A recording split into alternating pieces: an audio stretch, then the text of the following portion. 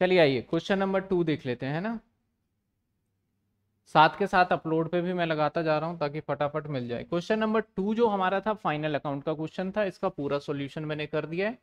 इस क्वेश्चन में क्या पॉइंट था, समझने वाले जो बच्चे कंफ्यूज हो रहे थे, वो चीज़ें मैं क्लियर कर देता हूँ। पहला पॉइंट कहता है द कंपनी इसका दस हज़ार था ऑथराइज कैपिटल सौ रुपए का चार सौ शेयर इशू किए थे, पचास, यानी बीस हज़ार रुपए शेयर कैपिटल में आएगा, जो कि आपको यहाँ भी बीस हज़ार दिख रहा है, इससे इसका कोई लेना देना नहीं है। मुद्दे की बात है डेप्रिसिएशन प्रोवाइड करना है लैंड एंड बिल्डिंग पे कहता है स्ट्रेट लाइन करना है। स्ट्रेट लाइन कॉस्ट पे लगता है तो कॉस्ट यहाँ पे दे रखा था तो इसके ऊपर पाँच परसेंट चार्ज करना है। दैट इज़ पंद्रह परसेंट, जो कि पंद्रह सौ रुपए आएगा, जो कि मैंने चार्ज करके दिखाया है। दूसरा फर्नीचर और इस पे बोलता है ऑन द रिड्यूसिंग बैलेंस यानी ये डब्ल्यू की बात करता है। तो जो बैलेंस दे रखा है हमें फर्नीचर फर्नीचर पे फर्नीचर पे कर देंगे। जैसे 800 डेप्रिसिएशन इसी पे डायरेक्ट 10 परसेंट लगा देंगे। और मशीनरी पे इसी पे डायरेक्ट 10 परसेंट लग जाएगा। इसके ऊपर कॉस्ट की कोई बात नहीं है, क्योंकि ये डिमनिसिंग बैलेंस है, ये ध्यान देने वाली बात थी। पाँच सौ रुपए का बेड डेट्स हो गया हमारा, ठीक है सर, पाँच सौ रुपए का बेड डेट्स हुआ, डेटर में से माइनस अदर एक्सपेंस में चला जाएगा।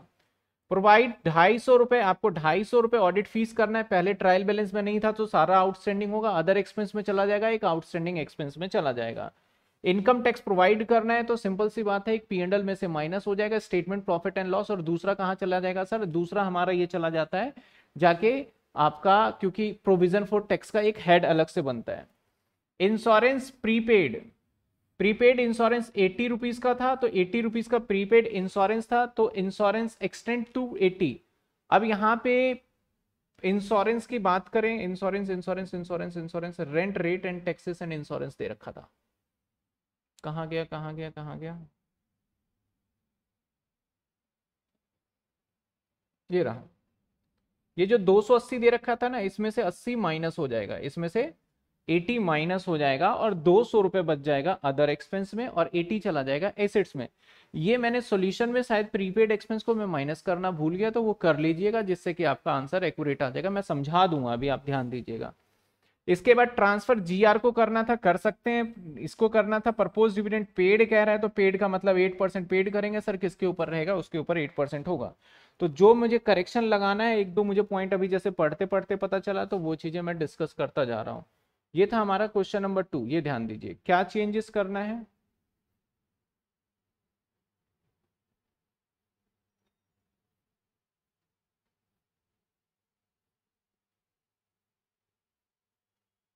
देखिए, एक इसके अंदर मैंने कहा कि रेंट जो है ना, यहाँ से 80 माइनस कर दीजिएगा। तो यहाँ पे 1750 जो है, वो आ जाएगा हमारा 1600 कुछ आ जाएगा जो भी। एक तो ये एडजस्टमेंट कर लीजिएगा, ठीक है। इसके बाद एक प्रीपेड रेंट आ जाएगा आपका, ठीक है ना? एक प्रीपेड रेंट आ जाएगा। तो यहाँ पे जो बैलेंस शीट बना रखा है ना हमने स्टेटमेंट प्रॉफिट एंड लॉस में तो जाएगा ही। एक नीचे आ जाएगा आपका अदर एसेट्स का। एक ना यहीं पे आ जाएगा other assets other current assets वहाँ पे डाल दीजिएगा प्रीपेड और ये आ जाएगा 80 जिससे क्या रहेगा हमारा, इसके आने के बाद ये पूरा पूरा फुल डिजिट में आ जाएगा हमारा आंसर ठीक है ना? फुल डिजिट में ये आंसर हमारा यहाँ पे आ जाएगा। दैट इज़ हमारा आंसर होगा forty four one double zero का। ठीक है? इसको करेक्ट कर लीजिएगा। आप नहीं तो मैं करेक्ट करके भी दोबारा पीडीएफ अपलोड कर दूँगा। ठीक है? फाइनल अकाउंट में ऐसा कोई दिक्कत नहीं था, बड़ा सिंपल सा था। अब आ जाते हैं सर दूसरे क्वेश्चन फाइनल अकाउंट के दूसरे क्वेश्चन में। मैं एंट्री भी बताता जा रहा हूँ कौन कौन सा क्या होगा। सारी चीज़ें इंफॉर्मेशन गिवन है यहाँ पे, जैसे डिवेंचर आपका sir plus bills payable creditor sales general reserve provision for doubtful ये अदर इनकम में डालिएगा आप अदर इनकम में। काफ़ी बच्चे कंफ्यूज होते हैं तो इसे अदर इनकम में डालना है अपने। प्लांट एंड मशीनरी प्रेमिस यहाँ ओपनिंग स्टॉक दे रखा है।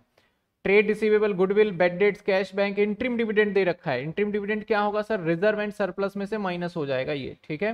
Calls in arrear calls in arrear कहाँ जाएगा सर? शेयर कैपिटल के अंदर चला जाएगा माइनस होके दिखा देंगे यहाँ पे। जैसे कि हमारे यहाँ पे दे रखा है ना दस रुपए चार आ, ये हमारा इक्विटी शेयर कैपिटल जो चालीस लाख है चालीस लाख में से आप ये पिछहत्तर हज़ार माइनस करके दिखा देंगे।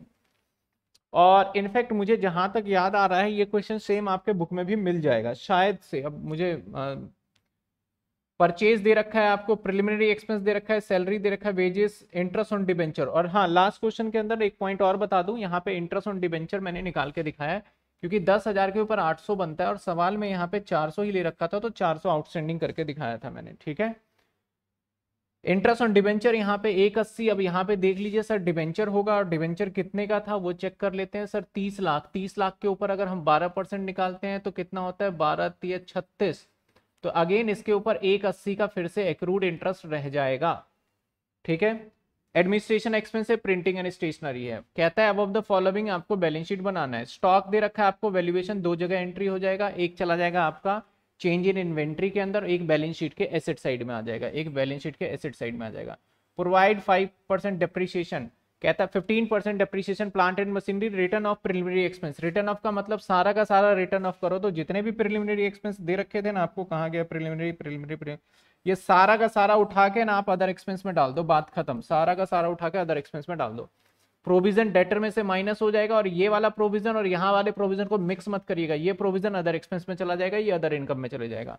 Make provision five percent in forty percent income tax जो भी प्रॉफिट आता है, उसके ऊपर हमने ढेर सारे क्वेश्चन किए ट्रांसफ़र जर्नल रिज़र्व में करना है। डायरेक्टर ने कहा कि डायरेक्टर परपोज डिविडेंड तो ये आपका कुछ भी नहीं होगा, ये कॉन्टेंजेंट लाइबिलिटी है तो कॉन्टेंजेंट लाइबिलिटी फुटनोट में आ जाएगा। फाइव परसेंट कितना होगा सर कॉल सिनेरियर को माइनस करके जो भी फाइव परसेंट होता है, या सिर्फ़ लिख देंगे कि परपोज डिविडेंड हमारा proposed dividend as per A S four हमारा रिकमेंडेशन है, इसलिए ये बैलेंस शीट का पार्ट नहीं है, ये कहाँ चला जाएगा हमारा कॉन्टेंजेंट लाइबिलिटी ये क्वेश्चन नंबर हमारा दो था होपफुली आपको दो भी समझ में आ गया होगा। आप ध्यान से सुनिएगा जो मैं बोल रहा हूँ, जिसने क्लास देख रखी है सारी, उसके लिए कोई बड़ी बात नहीं, उसको सब कुछ समझ में आ जाएगा।